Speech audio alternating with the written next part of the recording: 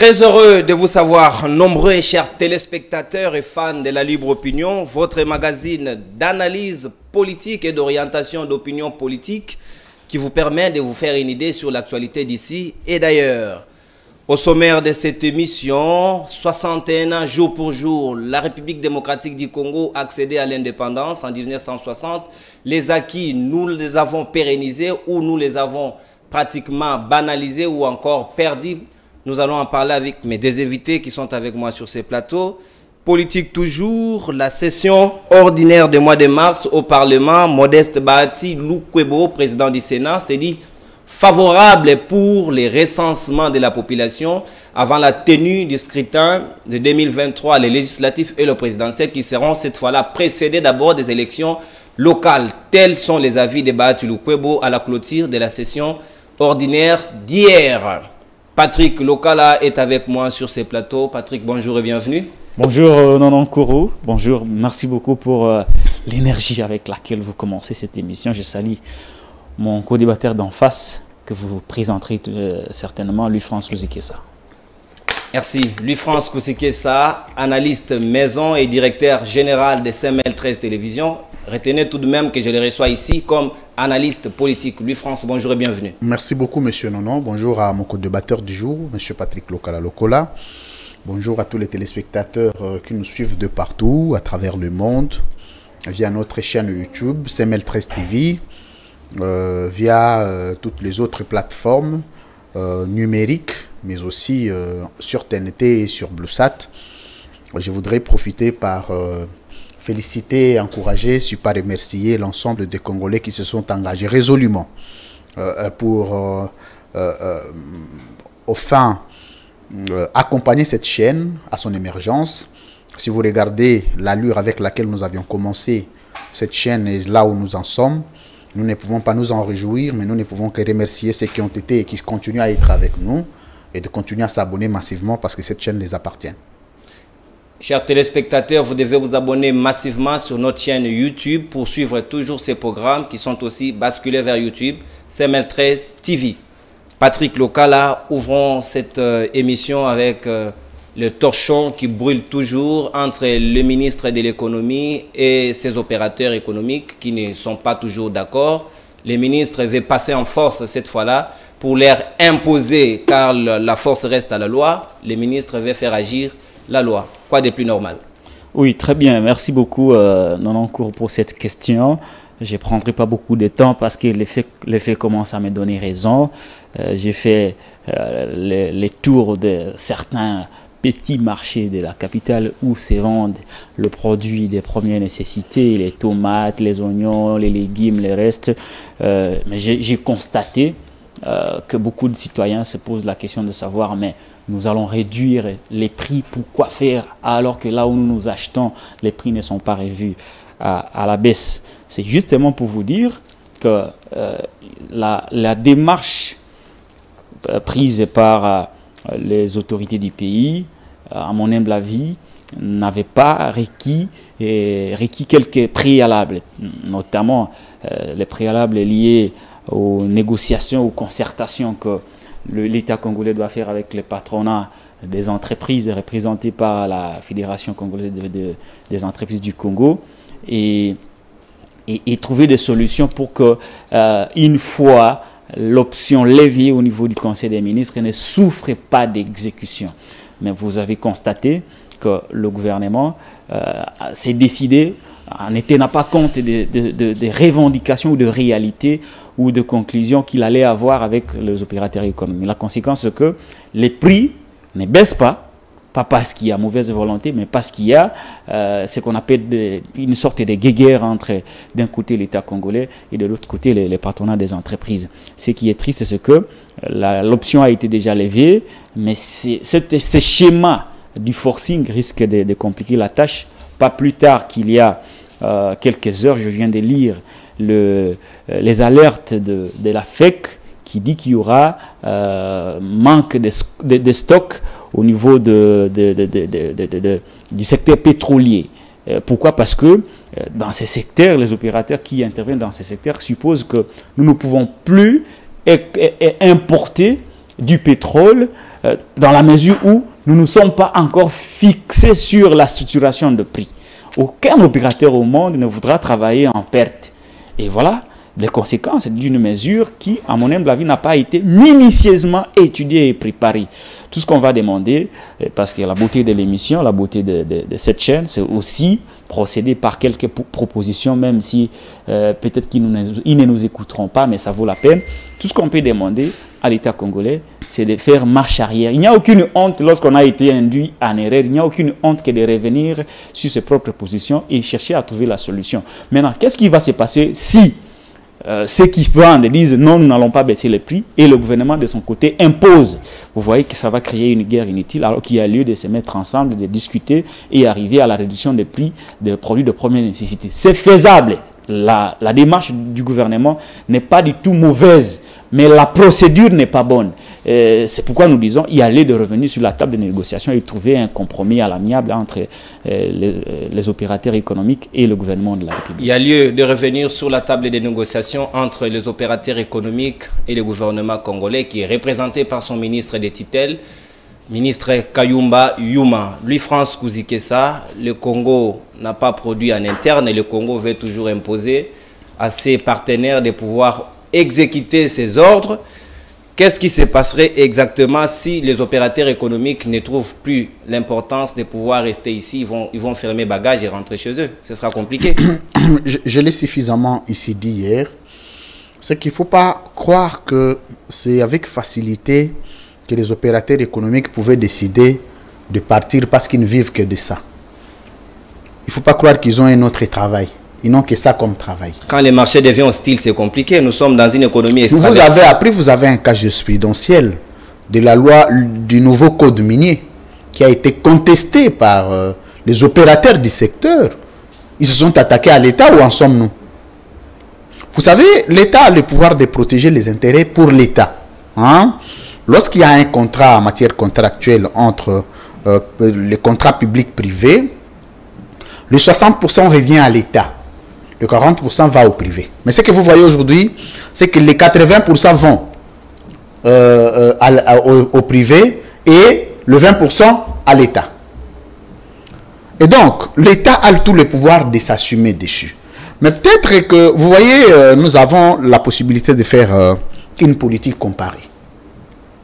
Une politique comparée du moment où nous nous appelons État de droit, du moment où nous nous appelons État démocratique, nous devons voir les fonctionnalités des autres États au monde. Je ne vois pas un gouvernement américain, je ne vois pas un gouvernement français prendre une mesure vis-à-vis du protectionnisme social de son peuple, qu'un partenaire, soit-il du secteur, vienne s'opposer à la décision de l'État.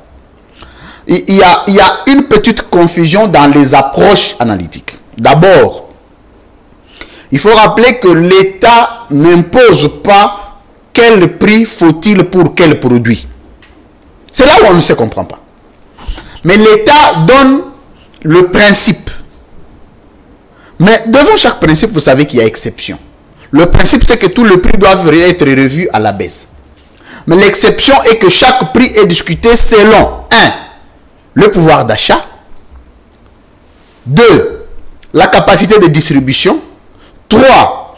La le capital économique de chaque entreprise, ça ce sont des exceptions.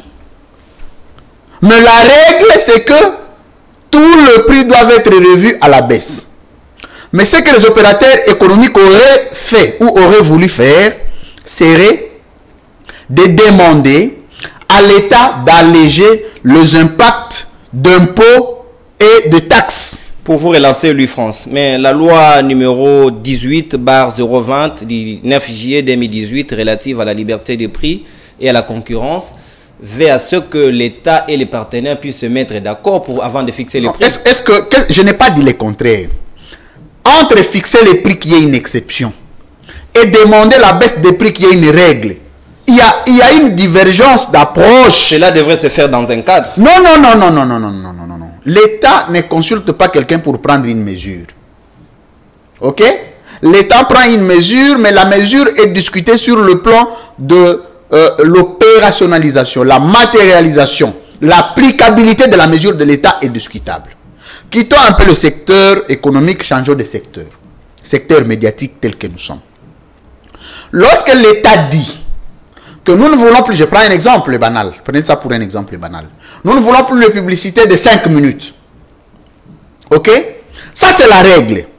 Mais chaque média viendra pour dire, nous, CML 13 TV, nous avions déjà signé des contrats avec tel produit, tel produit.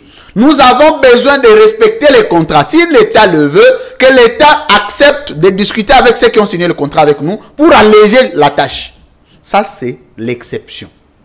Mais l'impression que nous donnent ces, opérateurs économiques, c'est que c'est comme si et la règle et l'exception doivent subir le cutus des opérateurs économiques. C'est ce qui est mythique, c'est ce qui est incompréhensible. Deuxième chose,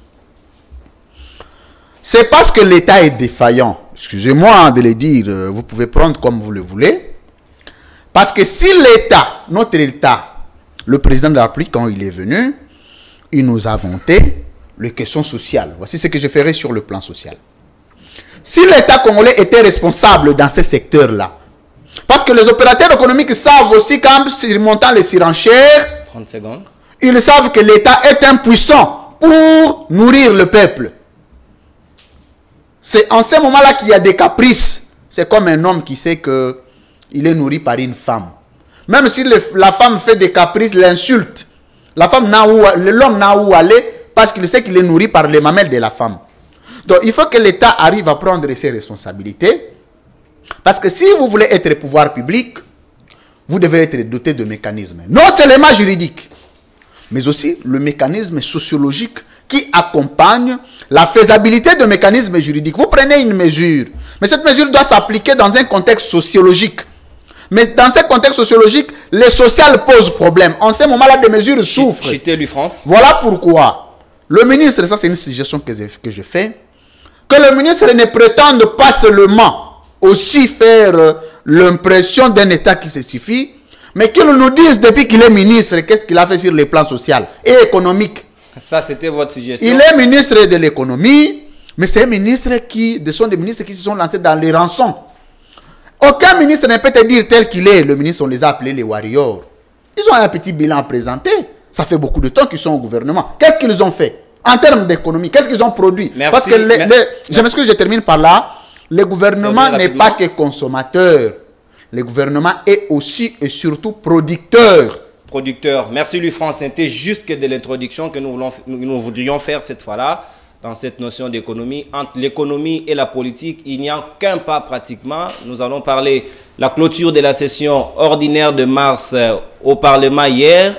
C'était au niveau des Sénats que le président, de du Sénat, allais-je dire, euh, Lukwebo, a dit et a même donné son avis pour euh, cette affaire de recensement qui fait parler beaucoup dans l'opinion, ici et ailleurs, dans toutes les officines politiques, on en parle. Qu'est-ce qui va se passer si nous commençons par les recensements d'abord, bien avant les élections? Est-ce nous allons glisser ou nous n'allons pas glisser? Je commence avec Patrick Locala quant à cette thématique. Patrick Locala, Modeste Bahati a émis son avis. Ce sera quand même bien que nous ayons la maîtrise des Congolais qui devront aller voter en 2023. Quoi de plus normal? Ce n'est que logique. Oui, merci beaucoup pour la question. Mais avant de parler recensement, je voudrais, euh, avec votre, votre permission, revenir un tout petit peu sur euh, les sujets, euh, les premiers sujets. Je voudrais ici Vous avez trois minutes. dans mon temps. Je voudrais ici très rapidement évoquer des principes de l'économie. Il y a le libéralisme et le protectionnisme tel qu'évoqué tout à l'heure par lui France ça Mais il se trouve que dans la réalité, la, réalité congolaise et le contexte de l'économie congolaise, nous évoluons dans un système euh, que j'estime totalement libéral, où nous avons une économie qui est détenue par euh, la plupart des, citoyens qui sont des extra, des, personnes qui sont venues d'ailleurs, c'est-à-dire des, concitoyens de d'autres pays expatriés, allais-je dire, et que nous avons une économie où nous avons autorisé la concurrence. Nous avons autorisé les laisser aller, les libres, les libres aller. Et dans ce contexte où nous avons des gens qui viennent pour faire de l'argent, avoir des capitaux, euh, qui viennent pour faire des affaires, ah, en tout cas, il sera difficile pour notre État de s'imposer et d'imposer les prix, même si, même si l'État, au regard ses prérogatives, a certaines attributions qui peuvent lui, lui, mettre dans une position de, chercher à, trouver des justes équilibres. Mais à contrario, si notre État était dans un système totalement protectionniste, je crois que l'État allait être à mesure de doter les nationaux de moyens pour que ces, nationaux puissent avoir les unités de production par rapport à cette matière que nous sommes en train de débattre, la matière sur les, les alimentaires. À ce moment-là, on allait bannir tout l'argent que ces opérateurs économiques expatriés payent au niveau de l'importation par rapport à la douane. On allait bannir certains impôts et on allait alléger à nos opérateurs économiques nationaux, on allait alléger les impôts tout en les soutenant avec des subventions. À ce moment-là, le prix des denrées alimentaires sur terrain allait changer et cela aurait contribué dans ce qu'on appelle les, les, produits intérieurs bruts. Mais lorsque nous ne sommes pas dans ces secteurs, les quelques entreprises ou les quelques services publics que nous avons en RDC ne, ne fonctionnent pas normalement. Je vous ai cité hier le cas de Bukangalonzo, j'ai cité le cas de, des services nationaux et qui sont pratiquement... Euh, pratiquement euh, défaillant à mon, à mon, humble avis. Et comment voulez-vous que l'État vienne imposer, imposer les choses? Il a évoqué quelque part où il a parlé de, euh, de, de, de, quitus. Non, il ne s'agit pas de quitus. Euh, L'État n'a pas à demander les quitus. Mais tout ce qu'on demande à l'État, comme on sait que c'est un État faible, il a comparé notre État aux autres États.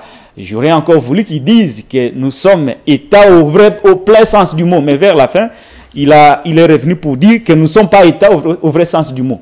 Par conséquent, nous ne pouvons pas nous comparer aux États-Unis, au gouvernement américain, qui peut lever des options et les faire appliquer sur ses opérateurs économiques. Donc nous sommes en, en position de faiblesse. Lorsqu'on est en position de faiblesse, la logique voudrait quoi?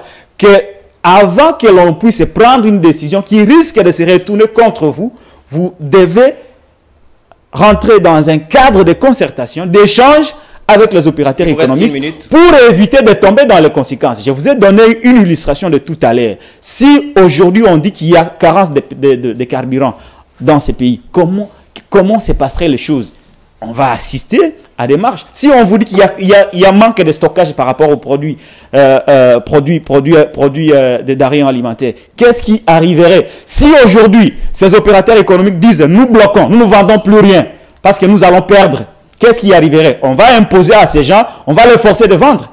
Donc ce sont des choses que nous demandons avec, euh, avec beaucoup, beaucoup plus de, de raisons au gouvernement que de négocier, d'échanger pour éviter ce qu'on appelle la confrontation. Par rapport au recensement, je voudrais encore rester une fois rationnel pour la question du recensement. Le recensement, en réalité, n'est pas une, bonne, une mauvaise chose. Le recensement n'est pas une mauvaise chose parce que nous avons quand même besoin de connaître qui est congolais, qui ne l'est pas. Nous avons besoin de connaître combien de Congolais vivent dans ces pays, combien de Congolais sont à l'étranger. C'est très important de, de, le savoir et ça permettra à notre État d'élaborer des stratégies de développement axées sur les, statistiques par rapport à la démographie des peuples et savoir apporter des solutions efficaces. Mais il y a une réalité qui s'avère comme une contrainte. Est-ce que la RDC est prête de faire ces recensements Est-ce que la RDC a le moyen nécessaire pour faire le recensement Est-ce que le contexte politique par rapport au conditionnement des élections par le recensement est, réel? Ce sont là des problématiques qu'on pose. Et au regard de ces problématiques, moi, au regard de ce que je connais, notre pays n'a pas de moyens pour organiser les, les, recensements. Notre pays ne sera pas à mesure de faire et le recensement et le processus électoral. Il faudrait que un, un, une, une des deux choses souffre. Soit on commence par les recensements et qu'on conditionne la tenue des élections par ces recensements, soit on ajourne les recensements et on, on, on passe d'abord par les élections, Merci puis après, on va relancer les recensements. Mais vouloir les faire, politiser les recensements, ça va créer ce genre de polémique autour de... Euh, on voudrait faire un glissement, on voudrait faire ce qu'on a refusé à l'époque des Kabila, et ça va créer des controverses. Les controverses aboutissent toujours par des pertes en vie humaine. Bien et évidemment, pas ça va une bonne chose. Je crois qu'il y a moyen de disséquer les deux processus et de voir ce qui est plus important et le faire euh, euh, une étape après, après une autre, je crois que ça, ça marcherait. Ça marcherait. Louis-France, est-ce que Félix Tshisekedi va emprunter les chemins de Loumanou à l'époque de Kabila avec Evariste Bochab qui n'avait presque pas abouti? Cela a même causé des morts par des manifestations de l'opposition de l'époque d'où Félix Tshisekedi était. Aujourd'hui, il est au pouvoir. Est-ce que va-t-il rééditer l'exploit ou il va apporter les, innovations cette fois-là tout en évitant le bain de sang? C'est possible Bon, moi je ne suis pas un magicien pour voir ce que Félix Tshisekedi fera ou pas, mais j'ai quand même la possibilité d'analyser pour que chacun à la maison essaye de conclure.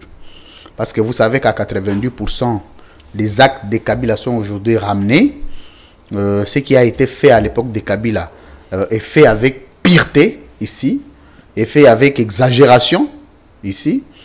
Et c'est tout à fait normal, mais il y a aussi des choses qui ont été faites à l'époque de Kabila qui sont modifiées aujourd'hui avec Félix Tshisekedi. Il est vrai qu'il y a des choses qui n'ont jamais été faites euh, à l'époque de Kabila qui, ont, qui sont faites avec Tshisekedi. Ça dépend. Ça dépend. Nous, nous allons analyser au cas par cas. D'abord, il y a un principe important qui fonde la commission des actes politiques dans un État. Dans un État, lorsque vous voulez parler de, du fonctionnalité ou de la fonctionnalité politique d'un État, vous tenez compte de trois principes majeurs. Je l'ai ici évoqué dernièrement sur le principe de l'irrigence. Tous les actes en politique se fondent sur l'irrigence. Quelle est l'urgence entre les élections et le recensement? Ce n'est pas en voulant l'une contre l'autre, ce n'est pas en voulant l'autre contre l'une, mais c'est en jugeant l'urgence qu'incarne chacun de ces actes-là qu'on juge le principe de l'opportunité. L'urgence. Deux, l'opportunité. Je l'ai prédit. C'est quoi l'opportunité entre la tenue des élections et le recensement de la population? La nécessité. Et le dernier principe, c'est la priorité. Trois éléments majeurs. Quand vous gérez l'État, vous gérez une entité de l'État, même les entreprises privées, même ceux qui agissent en privé ne savent pas incarner ces trois principes majeurs qui caractérisent la commission des actes, et en politique, et en sociologie, c'est-à-dire que vous êtes un État foutu. Prenez ça comme vous voulez. Mais quand il faut définir la tenue des élections, il faut revenir maintenant. Je vais donner une notion, un enseignement important pour que tout le monde comprenne à la maison entre la tenue des élections et le recensement de la population, qu'est-ce qui est urgent, qu'est-ce qui est prioritaire et qu'est-ce qui est nécessaire. C'est très important. La tenue des élections constitue un impératif constitutionnel. C'est une dimension constitutionnelle. C'est un impératif.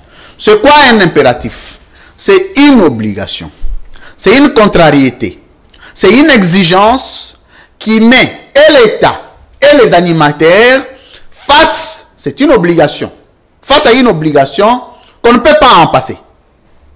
Et sans passer de cette obligation, constitue une violation de la Constitution dont l'article 165 de la Constitution a prévu l'ensemble de, de, mécanismes procéduraux de poursuite et de mise en accusation. C'est très important. Ne pas organiser les élections vous amène à ce que nous appelons la violation intentionnelle de la Constitution dont l'article 165 euh, parle de haute trahison, l'infraction de haute trahison.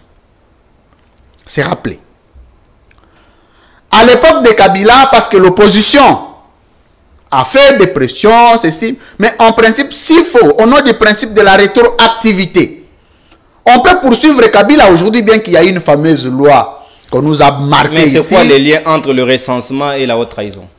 Non, j'ai dit si on n'organise pas les élections. Toi, tu es le journaliste, il faut que tu suives pour ne pas faire oublier. J'ai dit ceci. Les élections sont un impératif. Si vous n'organisez pas les élections, vous tombez dans l'infraction de haute trahison qui est une violation intentionnelle de la ne l'avait pas organisé dans le temps, il a eu C'est là où j'attendais maintenant ta question. Au lieu de me demander c'est quoi la ressemblance, parce que je suis dans l'analyse. Si vous oubliez une seconde dans l'analyse, c'est une jurisprudence. Vous êtes perdu. Allez-y. Vous avez cité la jurisprudence dans le, la catégorie des jurisprudences, vous avez des jurisprudences positives et des jurisprudences négatives. Les jurisprudences positives sont celles qui se conforment à la loi, négatives sont celles qui violent la loi. C'est à vous de faire le choix comme présentateur d'une grande émission comme Libre Opinion. Je note que lorsque vous parlez maintenant des élections, Kabila, aujourd'hui, en dehors de cette fameuse loi qu'on nous a brandie, on peut les poursuivre pour haute trahison et l'arrêter. 30 secondes, on doit passer à la deuxième thématique. Non mais laissez-moi évoluer. 30 secondes. Quand mon temps termine, vous me dites, je vous remets la parole. Je vous rappelle Parce que plus, plus vous me coupez, une, vous savez l'importance de l'analyse, c'est que vous avez les fils d'idées. C'est pas tout le monde qui est capable d'analyser. Tout le monde est capable de faire, de mettre un point de vue. Mais tout le monde n'est pas capable d'analyser. L'analyse demande un peu de temps, un peu de la hauteur, mais aussi un peu du calme. Vous parlez maintenant, parce que j'ai dit ici que la tenue des élections constitue un impératif constitutionnel qu'on ne peut pas en passer. C'est une obligation pour le président de la République. Ne pas le faire, c'est une autre trahison et c'est noté. C'est comme ça. Mais le recensement de la population. Le recensement de la population est, est une attribution pour un État. Mais une attribution qui est reconnue par un État qu'on peut faire selon le besoin. Mais si vous regardez aujourd'hui, quelle est l'urgence pour faire le recensement de la population On n'en voit pas. Quelle est la nécessité? Parce que vous ne savez pas ce qui vous parle du recensement de la population, soyez incapable de vous dire ça nous compte combien d'argent en termes de budget. Non seulement le finance, mais les caractères temporels du recensement. Le recensement, je termine par là, le recensement vous demande du temps. Or, aller dans le recensement, Patrick Local l'a dit, c'est tomber dans le chemin du report des élections. Et donc, si les dirigeants d'aujourd'hui s'étaient opposés et on a fait tuer le peuple à cause du recensement face aux élections, le même exercice est remis aujourd'hui. Et voilà pourquoi j'ai toujours demandé que ceux qui sont à l'opposition arrêtent un peu de nous donner beaucoup de leçons. Parce que tous ceux qui sont au pouvoir aujourd'hui étaient à l'opposition. Mais on est en train de voir que le même jeu politique continue et ceux qui sont restés à l'opposition arrêtent un peu de nous donner beaucoup de leçons dessus parce qu'on ne croit plus à la sincérité des acteurs politiques congolais. On ne croit plus à la sincérité des acteurs politiques. Patrick Lopala, vous pouvez rebondir dans votre état d'antenne, mais nous passons d'abord à la deuxième thématique. On, on vous, allez rebondir, on va passer. vous allez rebondir dans votre état d'antenne. On doit passer à la deuxième thématique. Nous courons derrière le temps. L'indépendance en 1960, les pères de l'indépendance rêvaient d'un Congo debout, d'un Congo prospère, d'un Congo fort et d'un Congo meilleur. Est-ce qu'aujourd'hui, si Lumumba ressuscitait de ses cendres, pouvait-il être fier de ce Congo que nous sommes en train de transformer ou de développer ou encore de régresser de 60 ans encore de derrière? On ne sait pas trop de quoi il s'agit. Patrick Locala, je reviens à vous dans votre état d'antenne. Mhm. Demain, la République démocratique du Congo va fêter son 61e anniversaire de l'indépendance. Mhm. Est-ce que vous êtes sûr et fier dans votre peau de se présenter comme ces Congolais-là et fiers d'avoir lutté comme les pères de l'indépendance ont lutté et aujourd'hui le pays est en train, est, en train sur les rails et aller vers son développement? Oui, merci beaucoup euh, pour euh, cette question de l'indépendance. Et je, je, vais y revenir euh, très brièvement, mais je voudrais revenir encore une fois sur la question du recensement de la population. Vous avez trois minutes. Oui, votre je, je le dis toujours que ce n'est pas une mauvaise chose, mais la problématique n'est pas très très bien posée. Vous savez, il a évoqué, lui France a évoqué les questions, le, les principes de, de l'urgence, de la nécessité, de tout ça. Il a raison d'évoquer tout, tout, ce principe. Mais si nous étions dans un État responsable, il n'aurait pas raison d'évoquer ces principes dans les contextes du recensement. Parce que l'État allait se dire que voilà, nous, nous avons de l'argent nous avons de l'argent et que euh, nous sommes à mesure d'organiser les recensements pendant une année et après une année, on part aux élections. Ça n'aurait pas dérangé euh, n'importe qui. Ça passerait pour quelque chose de normal. Mais on entretient euh, beaucoup de mystères autour du recensement. Et on oublie que le recensement est une question technique. Et que si vous abordez cette question technique avec beaucoup de légèreté, comme nous sommes en train de le constater, vous risquez d'induire tout un pays en erreur. Mais il y a de préalables. Mais est-ce qu'on nous a communiqué sur le préalable du recensement? Je suis revenu, tout comme les co-débatteurs lui France, sur la question de moyens.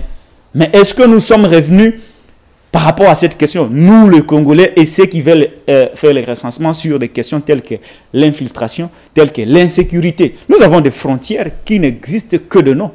Je suis dur peut-être, mais je suis désolé, mais c'est ça la réalité. Nous avons des frontières qui n'existent que de nom. Des frontières où il y a des étrangers qui entrent le matin et qui ressortent le soir. Vous organisez les recensements dans ces contextes, mais c'est toute l'Afrique centrale qui viendra s'enrôler, ils deviendront des Congolais. Après, nous aurons près de 150 millions de compatriotes. À ce moment-là, on, aura induit l'État en erreur. Et l'infiltration dont on craint risque de se concrétiser. Est-ce que derrière cette idée d'organiser le recensement dans un désordre sécuritaire, ne risque-t-il pas d'occasionner le schéma de la balkanisation? Ne risque-t-il pas d'occasionner le schéma de l'infiltration? Ne risque-t-il pas d'occasionner le schéma de l'occupation illégale de certains euh, concitoyens africains en RDC ce sont là des questions techniques. Avant de penser au recensement, il faut penser à la sécurisation, il faut penser aux moyens, il faut penser aux équipements, il faut penser au personnel. Est-ce qu'on a déjà formé le personnel pour le recensement? Voilà des questions, à mon humble avis, qui échappent. On, largue seulement les sujets par les gens de l'IDPS, le président du Sénat, voire même notre chef d'État qui a largué seulement les sujets avec beaucoup de, avec pas beaucoup de, de rigueur, et voilà, ça fait débat et que nous qui comprenons la réalité, nous, nous pensons que ça ne va pas réussir. Mais en dehors de ça, on vient associer des paramètres politiques, ça devient très très compliqué. Je ferme très rapidement la, la, parenthèse. Et la, date du 30 juin tombe heureusement avec la date de mon anniversaire. Je suis né le 30 juin. Anticipativement. ce n'est pas ça le sujet. Libre opinion vous souhaite joyeux anniversaire. Merci beaucoup. Ce n'est pas ça le sujet. Mais écoutez, je suis, je suis convaincu, tout comme vous qui avez posé la question, que si Lumumba s'est ressuscité de sa tombe, il ne serait pas content de ce que nous avons fait de ces pays. Je parle nous, Congolais, de manière générale, parce qu'on nous a légué un pays, un pays euh, qui a tout. Mais vous n'avez qu'à voir, hein, vous n'avez qu'à voir les conditions sociales du peuple. C'est misérable. C'est misérable. Nous ne sommes pas à mesure d'apporter des solutions par rapport à la misère, ce n'est même pas la pauvreté, la misère de notre peuple. comme si cela ne suffisait pas. La démocratie que Lumumba, Kassavou et le reste nous ont légué, nous sommes en train de tâtonner. Bon, on dit un pays de jeune démocratie, on, est âgé de 61 ans. Est-ce que ce n'est pas, pas suffisant pour être ne serait-ce qu'adolescent par rapport à la démocratie? Est-ce que ce n'est pas suffisant pour que nous ayons un État assez solide, fondé sur, un certain nombre de valeurs? Aujourd'hui, nous avons perdu des valeurs telles que la cohésion, telles que l'unité. Ces valeurs ont cédé leur place au tribalisme, à la haine et à tout ce que nous constatons. Mais où allons-nous finalement? Je parle de manière générale, j'évite très souvent de généraliser les débats par rapport à cette question, mais je suis convaincu que dans les jugements, au cas où va se retrouver devant nous pour nous juger, la part des politiques sera assez lourde comparativement à la nôtre. Merci. La part des politiques sera assez lourde parce que nous avons reculé selon vos analyses, Patrick. Lui, France Kouzikessa, vous êtes congolais autant que nous autres. Le Congo est aujourd'hui euh, dans ses 60 ans. Demain, ce sera 61 ans. Qu'est-ce que nous n'avons pas pu faire pendant 60 ans que nous allons cette fois-là programmer pour les années à venir? Parce que jusqu'ici, entendre les dires de Patrick, nous avons fait que reculer au lieu d'avancer. Demain, c'est le 30 juin journée de l'indépendance, euh, Congo Média Libre sera consacré euh, à l'émission spéciale avec euh, M. Robert Ngambi, comme un enseignant à l'université et puis secrétaire permanent adjoint du PALU, Parti Lumumbiste Unifié. Effectivement, pour nous parler de, de, lumumbisme au Congo. Mais ceci, c'est à 13h, je prends déjà rendez-vous avec les compatriotes venir suivre cette grande émission de demain à 13h. Mais je reviens maintenant sur le lumumbisme. Il y a beaucoup de lumumbistes aujourd'hui. Dans chaque parti, on se réclame de lumumbistes. Mais il existe encore de Lumumba aujourd'hui. Il y a encore un Lumumba dans ce pays. Parce que la symbolique de cette date historique inoubliable du 30 juin, marquant le libéralisme politique de la RDC vis-à-vis du colonialisme, passe par la figure de Lumumba.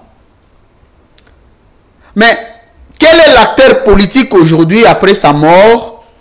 Nous pouvons encore personnifier. Je parle de la personnification de la journée.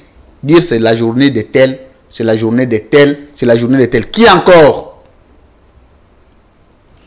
Pourquoi? Parce que la philosophie de Lumumba vis-à-vis de l'indépendance n'est plus la philosophie que tous les Congolais ont sur l'indépendance.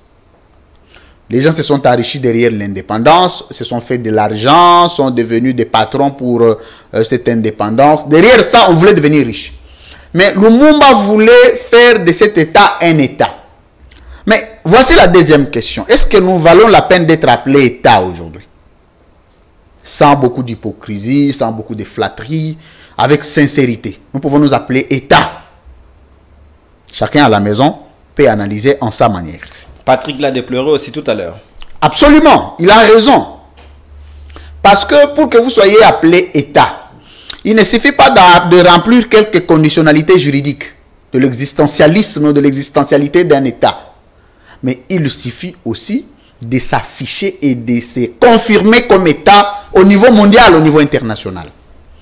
Quel est l'aperçu Quel est le regard qu'a la France qu'ont les États-Unis, qu'a la Belgique vis-à-vis de la RDC. Quel regard?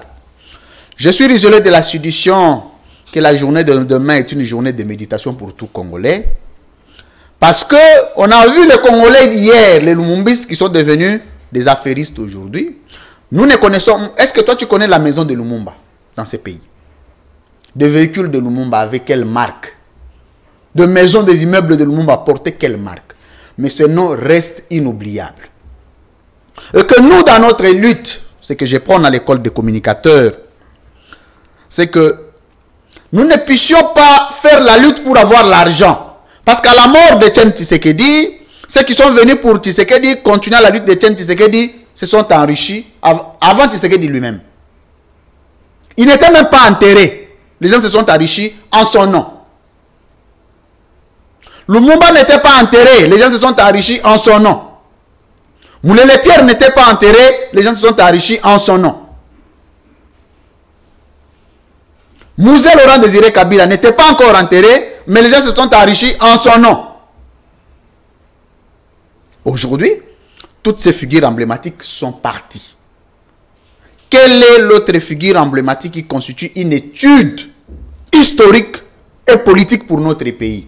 Si aujourd'hui, j'ai fait un petit, exercice avec ceux qui sont à la maison, qu'on nous cite trois noms qui méritent honneur, respect, crédibilité sur le plan politique, on nous cite combien? Trois. J'ai besoin de trois. Ce quand nous les voyons parce qu'il y a ce que nous appelons l'inanimité politique. C'est très important à l'occasion de la journée de demain, parce que demain, nous n'allons pas réfléchir, demain, nous allons poser des questions à un invité. L'inanimité politique. Il y a des gens qui ont fait l'unanimité au niveau national. Quand on parle de lui, on ne les conteste pas. Quand on te parle de Moulé les Pierre, tu n'as pas un discours négativiste. Quand on te parle de Lumumba, je m'excuse, quand on te parle de Mouzé Laurent Désiré Kabila, France, quand on te parle de ces figures-là, quand on te parle de Martin Luther King, quand on te parle de Nelson Mandela, quand on te parle de ces noms-là, mais regarde, maintenant, reviens sur la situation politique actuelle, la génération actuelle. Quel est le nom Attends, je, termine, je termine, c'est très important. Vous avez épuisé votre temps d'antenne. Quel est le nom qui peut pleurer, qui peut plaire, j'allais dire, qui peut faire l'unanimité politique? Parce qu'aujourd'hui, tu peux être accepté par. Donc, il n'y en a pas. Tu peux être accepté par les Bandundu, contesté par les Kassai. Tu peux être accepté par les Kassai, contesté par les Maniema. Tu peux être euh, accepté. C'est-à-dire qu'il n'y a plus de figures qui font l'unanimité politique. Nationale. Et nous en avons besoin. Nous en avons besoin. Voilà pourquoi c'est le combat de chacun de nous de vouloir léguer la crédibilité politique à l'État. Merci, Louis France. Patrick Locala nous pouvons quand même noter quelques avancées. Joseph Kassavoubou nous a légué la bonne gestion de la Respublica. Joseph Désiré Mobutu nous a légué cette fois-là l'unité nationale. Laurent Désiré Kabila nous a légué de ne jamais trahir le Congo. Joseph Kabila nous a, laissé, nous a laissé pratiquement les institutions et trois cycles électoraux. Et aujourd'hui, nous allons presque dans le quatrième cycle électoral. Félix Tshisekedi nous a amené l'état de droit. Est-ce qu'il n'y a-t-il pas des avancées dans une minute? Non, vous, vous chutez mal, cher ami. Je suis désolé de vous le dire. Vous chutez très mal. L'état de droit pour vous Non, n'existe pas. Félix n'a pas amené l'état de droit. Il faut pas mentir à l'opinion. Félix n'a pas amené l'état de droit. L'état de droit, si vous lisez le préambule de la Constitution, on dit que nous avons la vocation de construire un état de droit au centre de l'Afrique. C'est signé. C'était signé à San City et ça se trouve dans le préambule. Ce n'est pas une invention de l'IDPS, cher ami. Ce n'est pas parce que parler de Félix. Ici, c'est- nous parlons État, on ne parle mais c'est pas pourquoi je dis, non, mais c'est un parti qui gère quand même l'État. Ce n'est pas une invention de l'IDPS. Ce n'est pas une invention, cher ami, je suis désolé. L'état de droit se trouve dans la constitution du pays. Non, mais écoutez, écoutez, cher ami. Calmez-vous, Patrick. On dirait que vous êtes quand vous dites, quand vous dites c'est- Félix qui a amené, c'est l'IDPS qui a amené, ça énerve. Mais pourquoi vous n'êtes pas fâché quand on a cité Kabila, Non. on a cité Kassafoubou, on Non, a mais cité écoutez. Désiré Kabila mais Écoutez, Qu'est-ce qui se passe? ce n'est pas du fait de la volonté de, de- de ceux qui sont au pouvoir aujourd'hui que nous avons ce processus de la démocratisation de notre État, que nous avons ce processus de l'instauration d'un État de droit. Non, cher ami, cher ami, écoutez, cher ami, non, pas du tout. L'IDPS que vous me citez aujourd'hui, cette IDPS-là avait refusé de voter cette constitution qui prône l'État de droit. Vous allez me dire aujourd'hui que c'est l'IDPS qui amène l'État de droit. Non, il ne faut pas se manquer des gens. Non, je suis désolé, cher ami. Pour ce pouvoir, il n'y a aucun acquis jusque-là. Il n'y a aucun acquis. Si même pour ce pouvoir de Kabila que nous avons vilipendé, nous avons des institutions, vous l'avez dit, nous avons la loi fondamentale, nous avons l'alternance. Pour ce pouvoir, il n'y a rien à part les détournements, à part ce que vous voyez, on prend des mesures à la précipitation, on traite l'armée de tout, de la mafia. Il n'y a que ça. Il n'y a aucun acquis positif jusque-là que l'histoire peut retenir. Peut-être que dans les quelques jours qui restent, il y aura des choses, nous l'espérons, mais pour l'instant, il n'y a rien. Merci, l'espoir est permis. Lui, France Koussikessa, y a-t-il pas des acquis selon vous? Ne soyez Moi- pas si extrémiste comme Patrick. Moi, je- Non, je ne suis pas extrémiste, je ne dis que la vérité. Je vais choquer. Accepter que je choque. Dans une minute, on est arrivé à la fin. Je vais choquer. C'est que, de la même manière que le régime actuel ne fait rien, parce que c'est tout le monde qui le sait, le président République l'a dit lui-même, que le peuple comprenne qu'ils sont en train de se battre, mais rien n'est fait. Mais vous voulez que nous nous venions affirmer ce que les choses, ce que le président lui-même n'affirme pas. Mais non seulement lui, mais Kabila aussi. Vous savez, le pire de la gestion de l'État est venu de l'époque de Kabila. De quel Kabila? Kabila, Kabila c'est quel, de quel Kabila que je parle? Vous pensez que je peux parler de quel Kabila? D'après vous- vous, d'après vous, quand je parle de Kabila, vous pensez que je parle de quel Kabila? Vous savez de quel Kabila je parle? Parce que Mouzé s'appelle Mouzé Laurent Désiré Kabila. Donc, Mais il y a un. Kabila. Quand on dit Kabila tout court, Je ne connais pas un autre nom, cher ami. Prenez comme vous voulez. Je ne connais pas un autre nom. Je connais Kabila. Mais je connais le Mouzé Laurent Désiré Kabila, héros national. Là n'est pas le problème. C'est une précision. Mais, ce régime a pérennisé les acquis négatifs de, de- de la gestion de Kabila. Qu'est-ce que Kabila ne nous a pas amené? On a vu à l'époque de Kabila le, haut dignitaire de l'État se masturber dans le bureau. L'immoralité politique, Kabila nous l'a amené. On a vu à l'époque de Kabila le détournement des millions de fonds. Et ces gens ne sont jamais allés devant le cours des tribunaux pour justifier l'argent de l'État. On a vu à l'époque de Kabila où quelqu'un est venu.